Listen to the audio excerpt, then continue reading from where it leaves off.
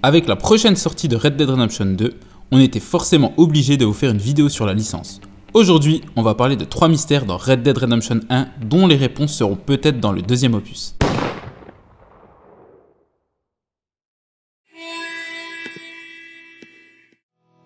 Alors je précise que ce qui va découler de ce mystère repose simplement sur une théorie personnelle que je me suis fait suite à Red Dead Redemption 1 et aux diverses news sur le deuxième opus. Pour ceux qui ont joué au 1, je vous apprends rien sur le fait que John et sa femme Abigail ont eu un enfant portant le doux nom de John Marston Jr., aka Jack Marston. Mais souvenez-vous, le couple a aussi eu une fille qui n'est malheureusement plus de ce monde. On sait simplement que la fièvre l'a emporté. Bon, ça va partir un peu dans tous les sens, mais il y a tout de même un fil conducteur et j'espère que vous n'allez pas le lâcher.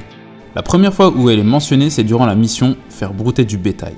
John aide Bonnie McFarlane et tous deux abordent différents sujets dont celui de la fille de John. Ce dernier lui dit J'avais une fille, mais elle est morte. Il reparlera de sa fille avec Louisa Fortuna en lui disant J'ai un fils à la maison et une fille au paradis.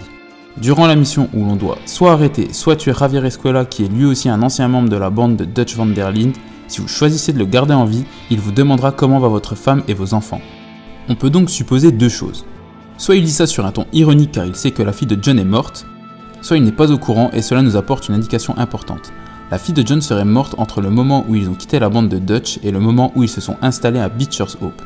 D'ailleurs, aucune tombe de leur fille n'est présente au ranch. Ce qui est sûr, c'est que leur fille est connue de la bande. Autre fait intéressant, d'ailleurs c'est cet élément qui m'a fait rappeler que John avait eu une fille, entre le 6 septembre et le 7 septembre 2018, Rockstar Games enflamme le web en balançant un artwork toutes les 30 minutes. Chaque image nous montre un personnage de la bande de Dutch accompagné d'une citation. On va se concentrer sur celle d'Abigail. Voici ce qui est écrit. Si ils lui font un seul bleu, je le jure, je leur apporterai les feux de l'enfer.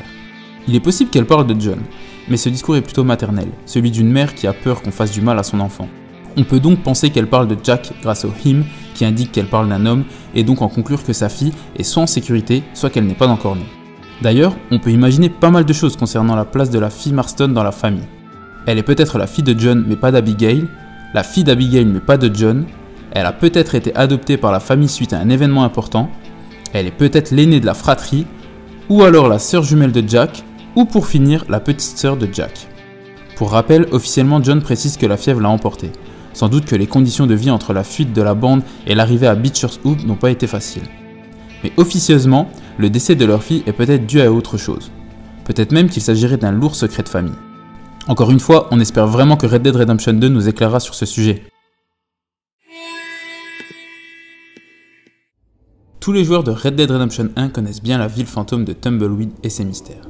A l'époque, c'était une ville paisible, mais depuis que la voie du chemin de fer fut construite dans tout New Austin en délaissant Tumbleweed, cette dernière s'est complètement vidée. Pas mal de gangs ont squatté cette ville, mais quelques mystères planent toujours au-dessus de cette dernière. Dans l'église, et plus précisément sur l'autel, il est noté Le diable est dans la bête. Ce message fait sans doute référence au cheval noir disponible quand Marston a son karma au plus bas niveau. En tirant sur le lustre de l'église, les ombres des poutres forment un pentagramme, le symbole du diable. Dehors, dans le cimetière, certaines pierres tombales semblent récentes alors que d'autres ont disparu depuis longtemps. Dans le nord-ouest du cimetière, il est possible de découvrir une tombe nommée Eleonora Riddick. En jetant un cocktail Molotov dessus, cette dernière s'ouvre et l'on peut découvrir que le cercueil est vide. A noter que c'est la tombe que Seth cherchait dans sa dernière mission. Pour finir, dans le manoir et d'après certains joueurs, il est possible d'apercevoir un visage dans la fenêtre du milieu. Une théorie plutôt connue par les fans. John Marston serait-il borgne de l'œil gauche? Plusieurs éléments sembleraient indiquer que oui. Disponible dans l'édition collector du jeu, la tenue assassin de John Marston nous montre que ce dernier a un cache-œil sur son œil gauche. Le mode Deadeye qui permet de ralentir le temps signifie littéralement œil mort.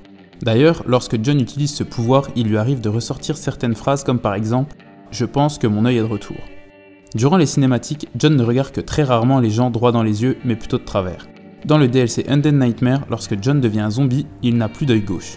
Johnny Klebitz, personnage de GTA, a un passé similaire à celui de John. Tension avec son gang, pression des fidéraux et tue même son chef. A noter que Johnny est malvoyant, voire borgne de son œil gauche. À l'âge de 8 ans, John voit son père devenir aveugle suite à une bagarre de rue. Si cette théorie s'avère vraie, espérons que Red Dead Redemption 2 nous dévoile comment John Marston a perdu son œil gauche. Voilà, j'espère que vous aurez apprécié la vidéo. Si c'est le cas, n'hésitez pas à liker, partager et vous abonner si ce pas encore fait. Je vous dis à la prochaine, ciao